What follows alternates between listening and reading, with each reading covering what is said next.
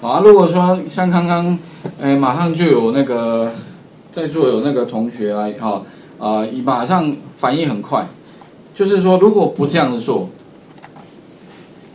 啊，这个可能要往前往前推一下，啊，如果我不这样做逻辑判断的话，其实可以怎么做？一，可以把 star 起始值改成三，后面的话呢，哈，把它怎么样？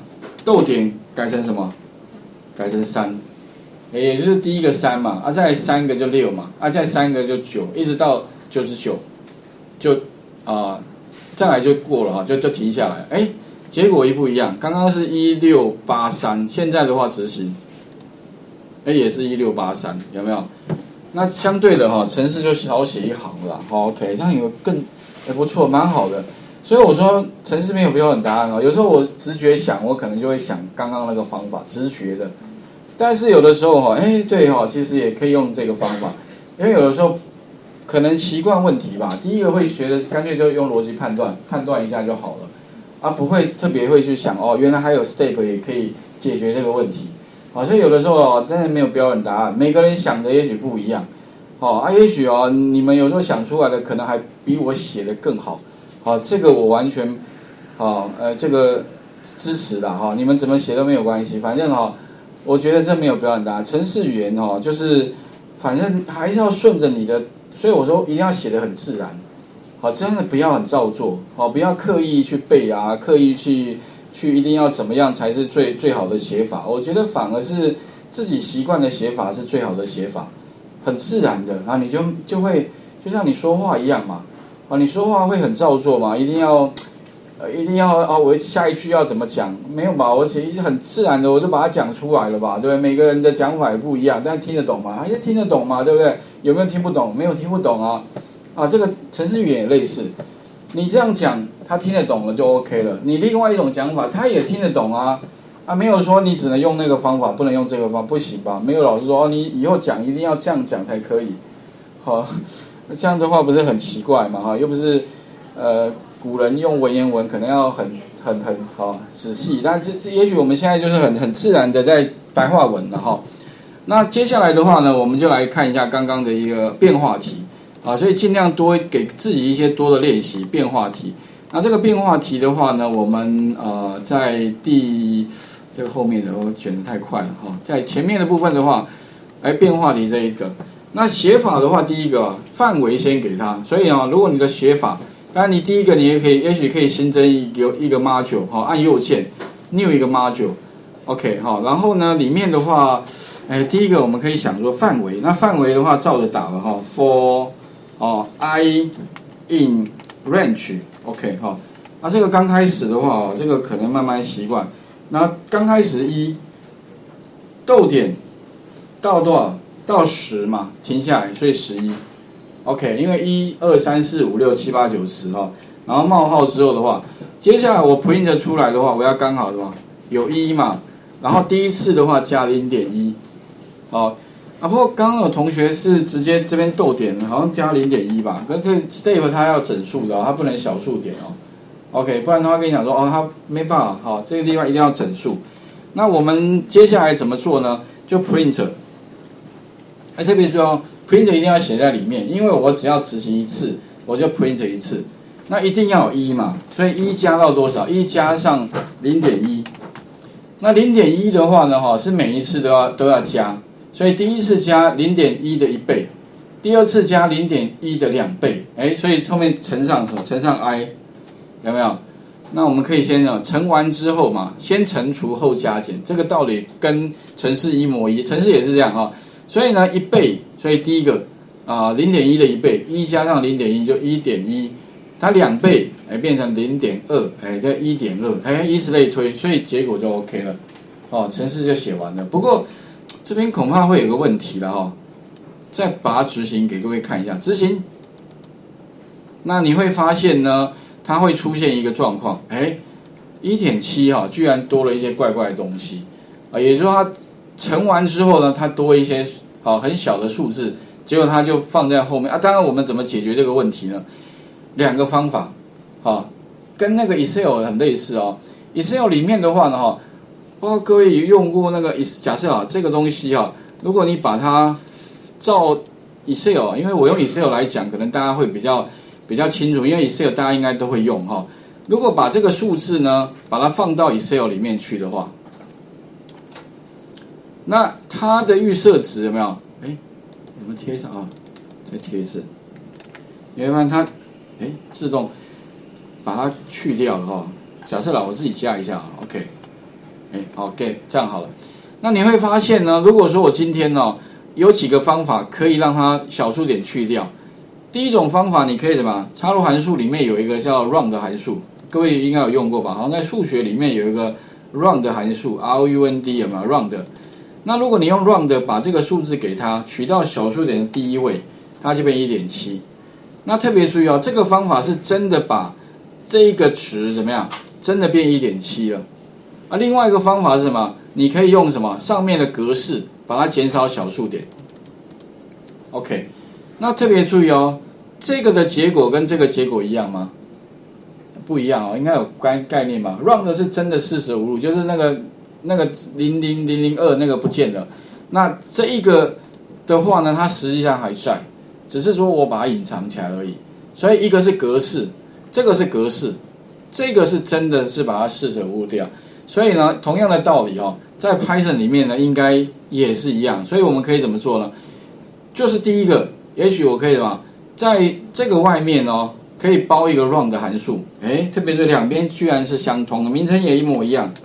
round，把这个东西后面逗点一后刮弧，啊，其实用法哈跟那个什么，跟在这边一样嘛，有没有？round，有没有？round 刮弧，把这个东西放进来，然后逗点一，哎，有没有一模一样的写法？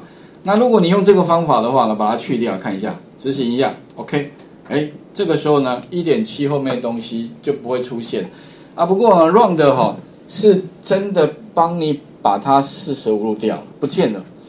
第二个方法是格式哦，格式的话呢，在啊 Python 里面哈，这个是第一种方法哦，OK 应该可以懂嘛哈，round 包起来。那第二种方法是什么呢？第二种方法我把它注解一下，换成另外一个方法，就是格式化。格式化也非常重要哈。这个地方哈，那格式化的话呢，怎么做呢？这边把它 tab 一下。那我如果不用 round 哈，特别注意哦。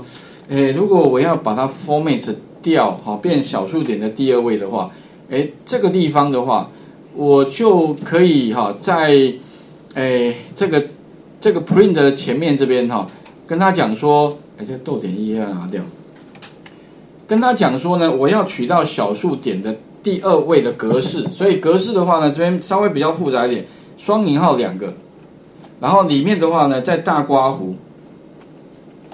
中间加一个冒号，好，如果你要做 format 的话啦，而且可以参考。如果这个怕记不起来的话，在那个我们讲义里面哈，format 这边有，那就写成这样就对了。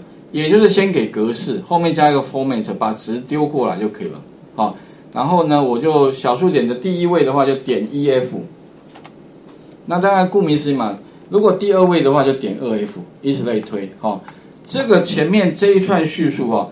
就是我要输出的格式，好，然后呢，点后面的话加一个 format，哎，format 出来了，好，不过它会多一些东西啦，把这删掉，好，然后呢，再把后面的词放在那个 format 里面，那它就会帮你怎么样，把这个词格式化之后再输出，好，格式化之后再输出哦，这个，哎，是。的 bug 还是说，因为照我们来讲，我们学的数学是，你加零点七不会突然跑出一个后面有很多个零的二啊。对，这个这个可以可以再再再找，不过我们主要先不用去管那个它里面的的状况，我们先解决是怎么样把小数点拿掉好了。那至于说它里面产生的值啊，也许可以再查一下啦。OK，因为它里面等于是会帮你再增加一个很细的、很小的一个值放在后面。对，我们就会担心他算出来的数学到底是对的还是错的。嗯，这理论上应该这个问题应该是还好啦，我觉得，哦，因因为就像它 Python 背后当然它怎么去 run 哦，它有它它的一个方选，它有它的函式库，哦啊，如果至于说它为什么产生多那些东西的话，那要另外一个问题了。啊，不过我们现在先解决，假设我们要把那个那个词先让它去掉的话，那怎么做？哦，OK，所以记得哦，我们可以让它取到小数点。第一个是真的把它四舍五入用 round 的，第二个是说我就给一个格式，跟他讲说我只要取到小数点的第一位，后面不要让我显示出来，那我可以用 format。啊，所以这个结果的话，把它执行一下，那你会发现哦，这个结果呢也会是看到是没有小数点的状态。OK，好，那哪一个方法比较好用哦，而且比较重要？我建议哦，各位这个 format 一定要熟悉，因为将来哈在 Python 里面很多地方都会需要用 format，就有点像是什么，在 Excel 里面哈，你要做格式化一样的道理。Excel 里面它本身。这个是它内建功能，另外你也可以按右键，这边有个储存个格式嘛。那其实它的 format text 在哪里？就是这个嘛。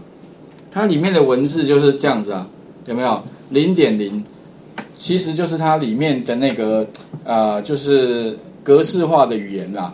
那其实它有用 format 类的概念，只是说呢，它是很自动的帮你产生，比较不需要说像 Python 一样你要下指令才能完成。哦，但是其实逻辑上我觉得都一样。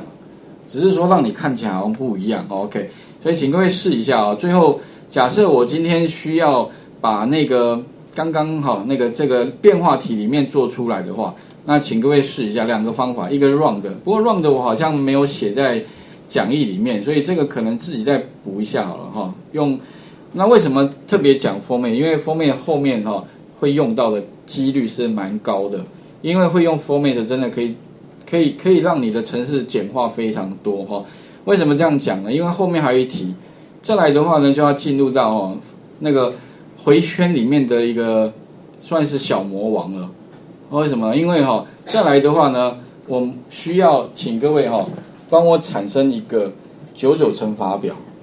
那这个九九乘法表哈不是叫你逐行自己慢慢打上去的，而是你必须用回圈。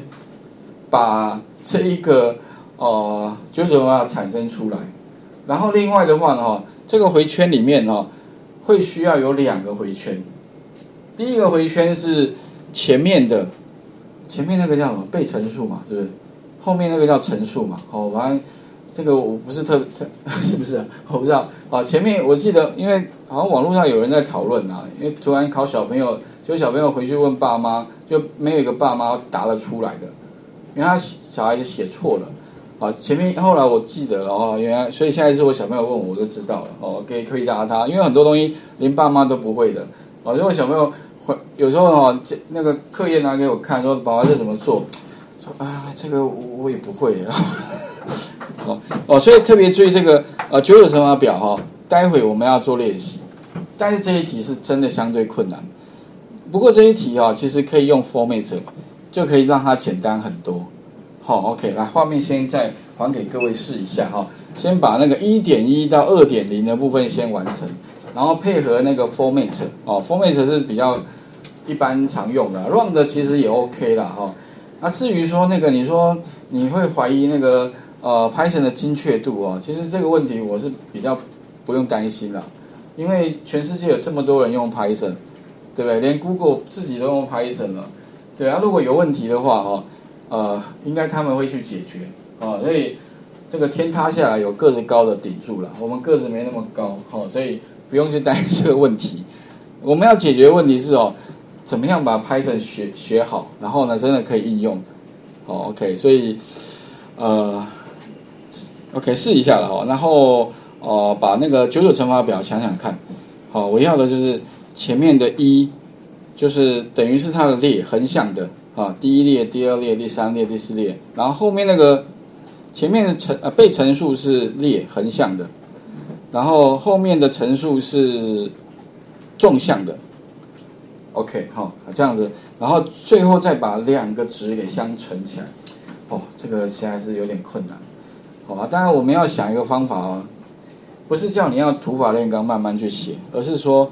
有没有一个方法可以写又简单又快速，哦，可以把结果给做出来，试一下哈。